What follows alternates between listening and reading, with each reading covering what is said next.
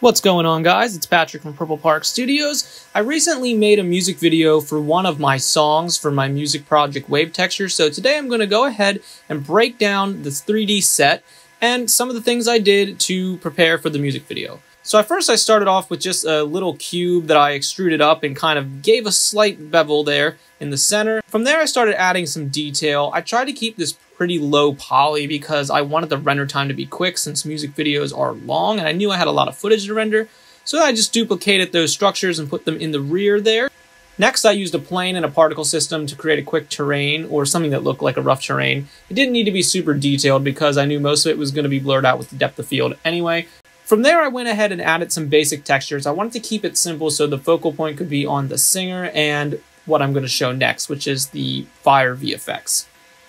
So now one of the coolest things that I really liked about this video was this fire VFX that I created. Now I originally created this as fire, but since the video was called chemicals, I decided to change the color and I made it green. Now what's cool about this is I've actually made this available on Gumroad, so you can get this VFX on Gumroad. It's just a plane with a crazy node setup plugged into it but it's really awesome. You don't have to animate everything. It's already animated. It runs continuously every frame, and it's just really cool and useful. I'm finding uses for it in lots of projects. And for the HDRI, I use Nebula Green with Stars right from the Blender kit, and here's the final result.